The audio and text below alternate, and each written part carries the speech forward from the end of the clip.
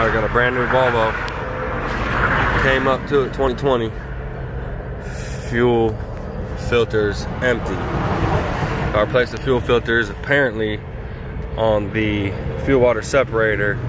When you take it off, not apparently, I saw it, but when you take this off, on the on the bottom of the housing, there's a little red or orange flap, and you actually gotta like you can you can pull it down and clean it up. That's apparently what you gotta do. And prime the thing up, but then it's turning back off. All right, I'm gonna have you start it again.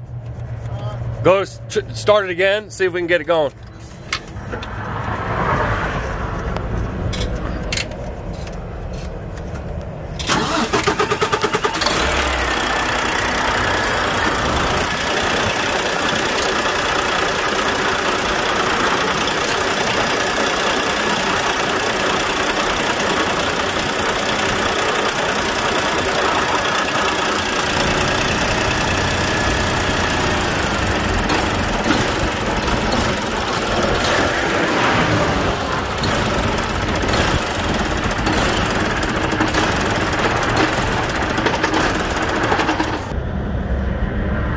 This is what I'm talking about right here.